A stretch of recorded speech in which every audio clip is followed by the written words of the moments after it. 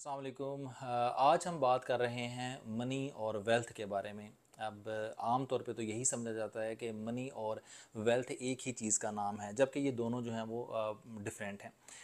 अब ज़िंदगी में इंसान को जो भी शख्स है दुनिया में, वो सिर्फ़ जो तीन चीज़ें चाहता है, एक तो वो खुशी चाहता है, एक वो सुकून चाहता है, एक वो कंफर्ट्स चाहता है। और ये तीनों चीज़ें जो हैं वो ज़ाहिर मनी से वो हासिल करता है। पैसे से हासिल करता है। आम तौर पे तो हम यही समझते हैं कि ये जो वेल्थ है और ये जो मनी है, ये एक ही चीज़ के नाम है, यानी दौलत है। दौलत में हम पैसे को भी गिनते हैं और उसको भी दौलत गिनते हैं। लेकिन मेरा ख्याल है कि ये जो वेल्थ होती है ये एक बहुत बड़ी चीज़ है, जबकि मनी उसका एक छोटा सा पार्ट है जो मनी है, ये कह लें कि एक वेल्थ का जस्ट फाइव परसेंट होता है, बाकी नाइन्टी फाइव परसेंट जो है, वो वेल्थ वो और चीज़ होती है जिसको समझना बड़ा ज़रूरी है। लेकिन हम पहले मनी की बात करते हैं। मनी से हम ये तीन चीज़ें जो हैं, यानी खुशी और सुकून और कम्फर्ट्स ये तीनों चीज़ें जो हैं वो इसे ख़रीदने की कोशिश करते हैं। अब खुशी किस तरह से?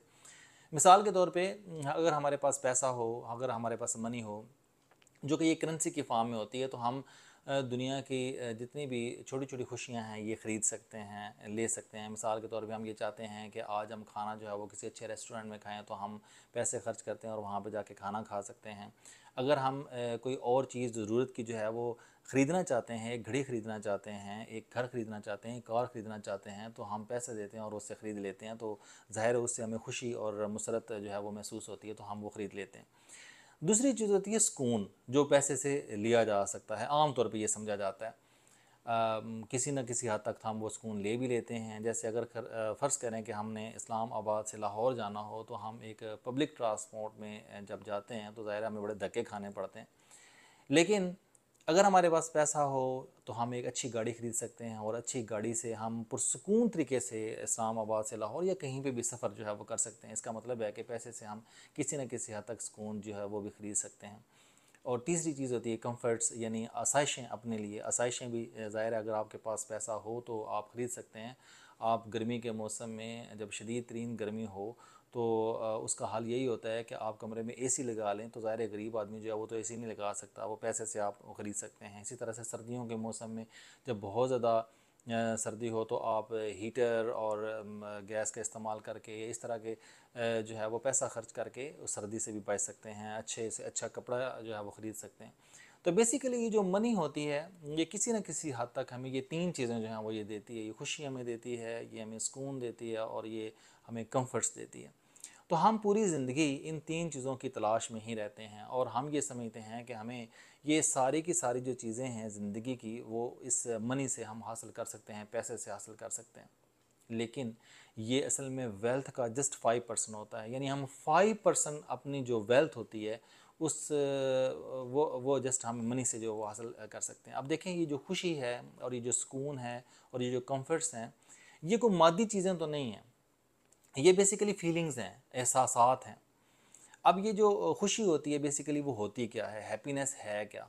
हैप्पीनेस अगर रियल सेंस में अगर हमने लेनी हो हकीकी खुशी हमने लेनी हो तो हकीकी खुशी जो हैप्पीनेस होती है उसकी तो डेफिनेशन ऐसे ही की जा सकती है कि ये एक ऐसी कैफियत है ये एक ऐसा एहसास है कि जब ये आपके पास आती है तो आ, आ, आप अगर इस हैप्पीनेस को या खुशी को जितना ज़्यादा लोगों में बांटना शुरू कर देते हैं जितना ज़्यादा लोगों में तकसीम करना शुरू कर देते हैं, जितना ज़्यादा इसको शेयर करना शुरू कर देते हैं, ये खुशी जो है वो उतना ही बढ़ना शुरू हो जाती है, उतनी ज़्यादा आपके पास ये आती है, उतनी ज़्यादा मसरत और खुशी आपके पास हैप्पीनेस रहती है।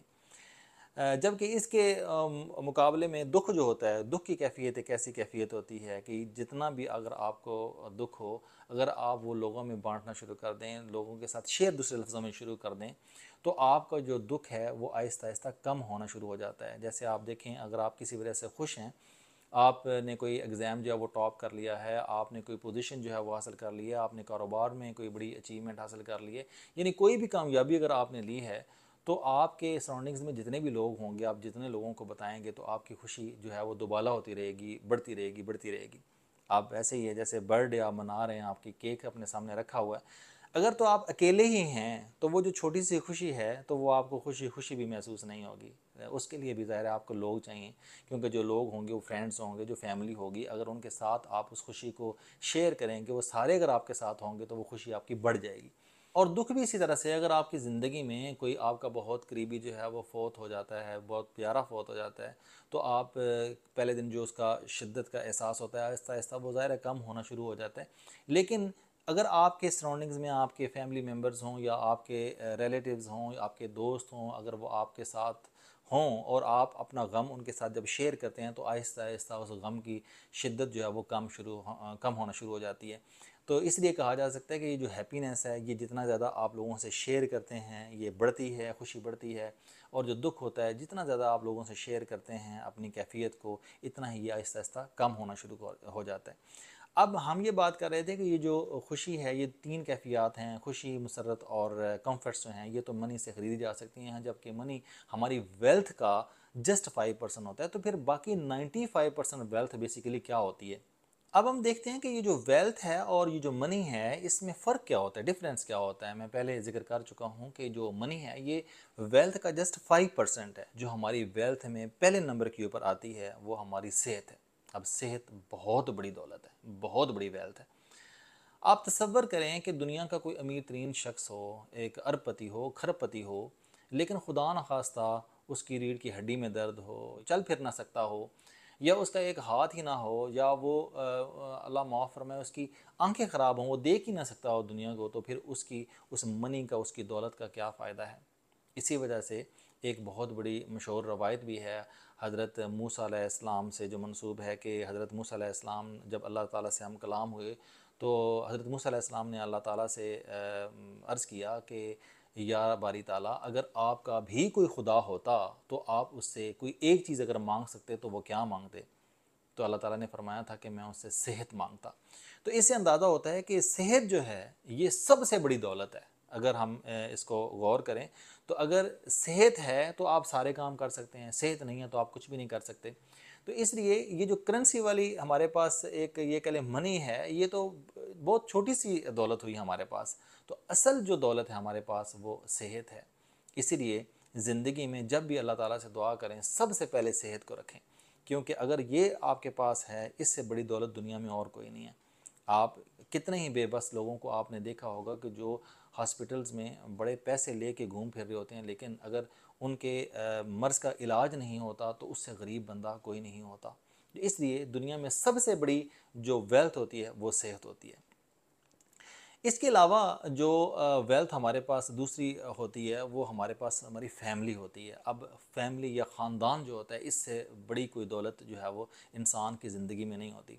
आप तस्वर करें कि कोई एक अमीर तरीन शख्स हो उसके पास ढेरों दौलत हो यानी उसके पास पैसा बहुत ज़्यादा हो, लेकिन उसका कोई ख़ानदान ना हो, उसकी कोई फैमिली ना हो, उसकी बीवी ना हो, उसके बच्चे ना हों, उसके माँ बाप ना हों, उसके रिलेटिव्स ना हों तो आप तस्वर करें कि वो दुनिया का कितना गरीब तरीन शख्स होगा।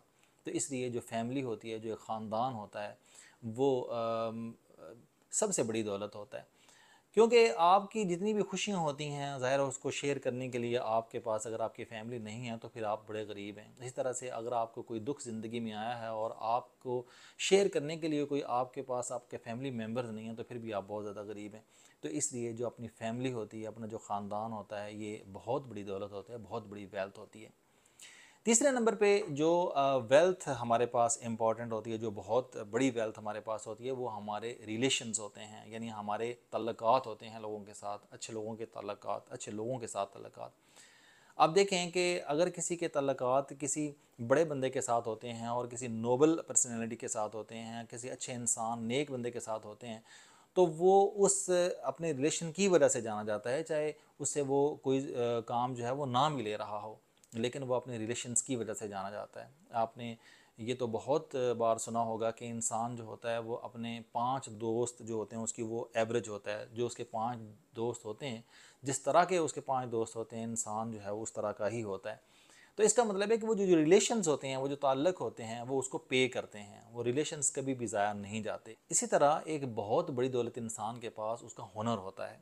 यानी अगर कोई इंसान कोई हुनर जानता है तो उससे अमीर शख्स भी कोई नहीं होता, उससे बड़ी वेल्थ भी उसके पास कोई नहीं होती। हज़रत अली रज़ी अल्लाह का फरमान मुबारक है कि जिसके पास कोई हुनर हो तो वो कभी बेरोज़गार जो है वो नहीं रह सकता। ये बहुत बड़ी हकीकत है कि हमारे पास किसी भी किस्म का कोई हुनर है। मिसाल के तौर पे अगर कोई डॉक्टर है तो ज़ाहिर है वो अपनी अपनी उस स्किल्स की वजह से वो कभी भूखा नहीं मार सकता। एक टीचर है पढ़ा लिखा इंसान है तो वो बच्चों को पढ़ा लेगा ट्यूशन्स पढ़ा लेगा, कहीं ना कहीं तो वो कभी भूखा नहीं मरेगा। एक बड़ाई है काम करने वाला तो वो अपने उस हुनर की वजह से हमेशा रोज़ी जो है वो कमाता रहेगा। एक गाना अच्छा गा सकता है तो वो गाना गाता रहेगा।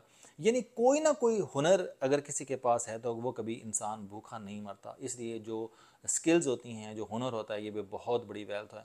तो हम आम तौर पे जो मनी है और उसकी जो वेल्थ है, इसको एक ही चीज़ समझते हैं, जबकि जो मनी है, वो असल में वेल्थ का जस्ट फाइव परसेंट होता है। जबकि इसके अलावा हमारे ज़िंदगी में बहुत बड़ी हमारे पास और भी दौलत होती है, जिसके ऊपर हमने कभी गौर नहीं किया।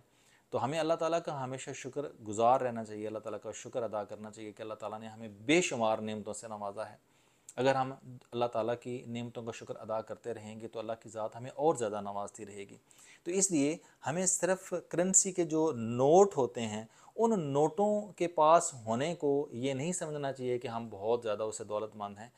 अल्लाह से हमेशा बाकी जो वेल्थ है, वो भी मांगती रहना चाहिए, क्योंकि अगर आपके पास बहुत ज़्यादा दौलत हो भी और अगर बाकी वेल्थ जिसका मैंने ज़िक्र किया नहीं होगी तो हम ज़िंदगी में बहुत ज़्यादा गरीब होंगे। इसलिए अल्लाह ताला से दुआ है कि अल्लाह ताला हमें ज़िंदगी में वो जो असल वेल्थ है, वो हमारे पास जो है, वो हमेशा रहे और अल्लाह ताला हमें उस वेल्थ के ज़रिए हमें खुशियाँ दे।